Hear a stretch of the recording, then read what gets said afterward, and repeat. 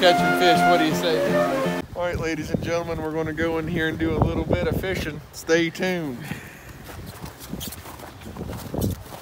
All right, now see, you most trout fishermen, they wouldn't be willing to take the hike in the woods. They like to sit out there with their power bait fishing the little mud holes, but not us here. No, we are, we are hardcore fishermen here, fellas, I tell ya. All right, hello everybody. We're coming live here from the stream. This is a nice little feeder stream to where we're wanting to go. What I'm fishing, it's a nice little eight foot rod, five, six rate, pull lightweight. It's good. Here. On the fly, we're fishing a nice soft tackle. It's a elk hair caddis. We're gonna go down here and get, maybe hook us into a nice, nice couple brook trout there. You know what I mean? Follow me for some more fun.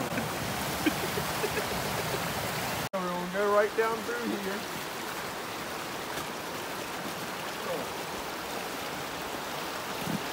All right.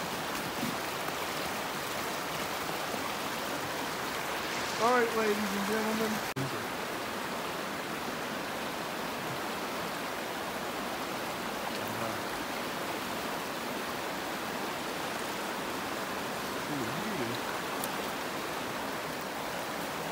All right, we're going to. I want to take you guys to one of my favorite honey holes on this stream. This it's moving way too quick. I don't. There's not a good riffle here. It's not going. I need a nice pocket, a nice pull. We're going to go catching fish. What do you say, guys? All right. See here we got here, ladies and gentlemen. We got a nice little tributary running down to the stream. What we're looking for is we're looking for a nice pocket, no more than two to three feet deep, with a nice flowing current for the trout to feed on. This is one of West Northern West Virginia's only native brook trout areas right here, and we're going to go hook us into one.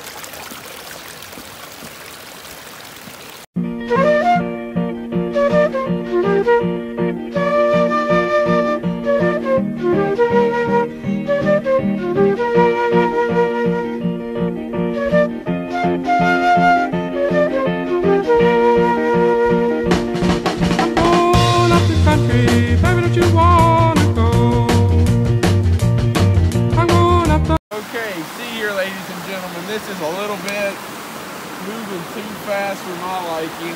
No fish is going to tire themselves out swimming in this.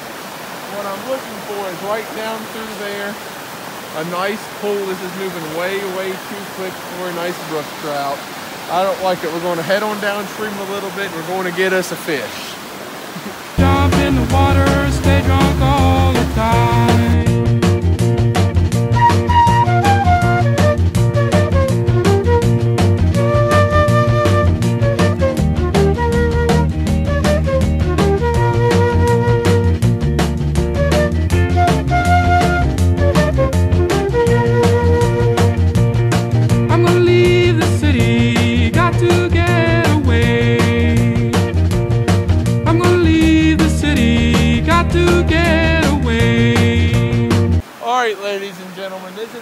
Perfect place to find you a good fish.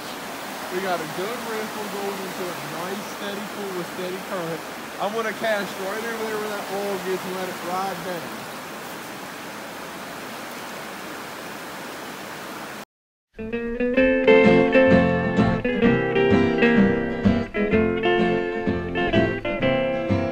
I got a feeling called the blues, oh Lord, since my baby said goodbye.